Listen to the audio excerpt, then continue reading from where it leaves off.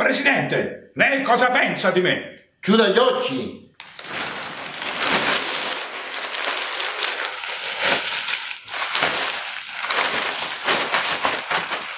Monnezza!